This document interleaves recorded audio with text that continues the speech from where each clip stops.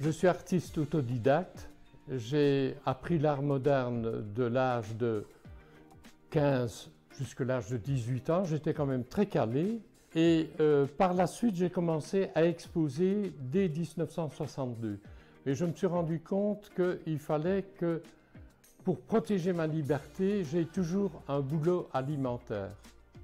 Et durant 20 ans, 20 ans, oui, j'ai été dessinateur de projets de route, d'égouts et de distribution d'eau. Et ensuite, j'ai pu, grâce à mes multiples expositions, être pris sans diplôme pour enseigner dans le supérieur la publicité, l'illustration et la bande dessinée. Ce qui m'a permis effectivement de rester libre et de choisir tous les styles d'expression que je voulais euh, réaliser depuis mon enfance. Ce qui me donne le plus d'énergie en ce moment, ce n'est pas décider dès que je me lève.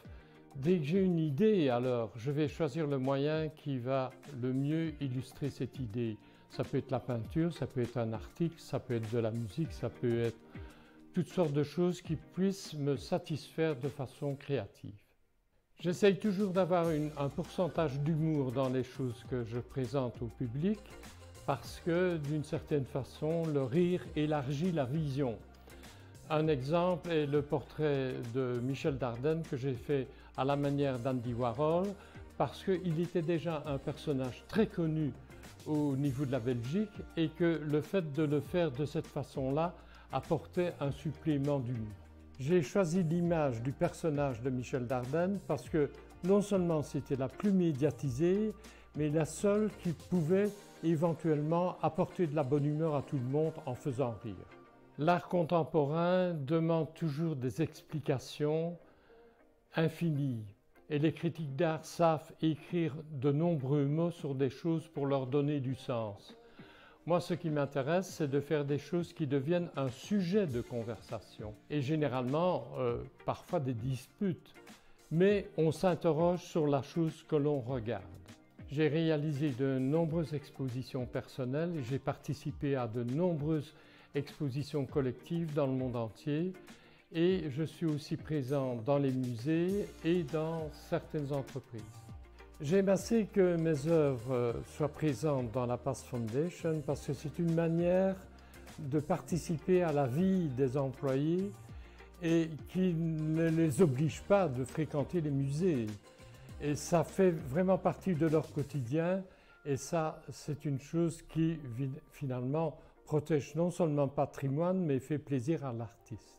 Je crois que le contact avec l'œuvre d'art où que ce soit et à quelque niveau que ce soit, fait en sorte que nous vivons mieux. C'est le spirituel qui nous apporte, nous aide à vivre. Sans l'art, pas de vie. Mon rêve pour le futur est de toujours avoir non seulement le courage, la force et aussi la santé pour pouvoir réaliser les rêves et les promesses que j'avais faites à Dieu lorsque j'avais 12 ans.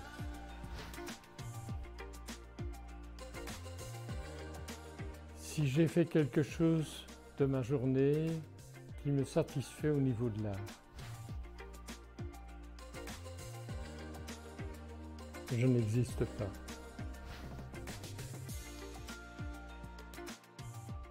Ce que je vois autour de moi, ce que les médias nous fournissent et éventuellement les rencontres que je vais faire dans la rue.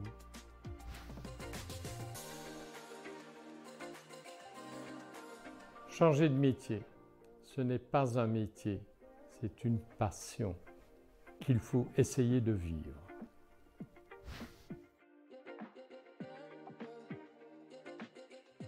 Quelqu'un qui a essayé de faire sourire en réfléchissant.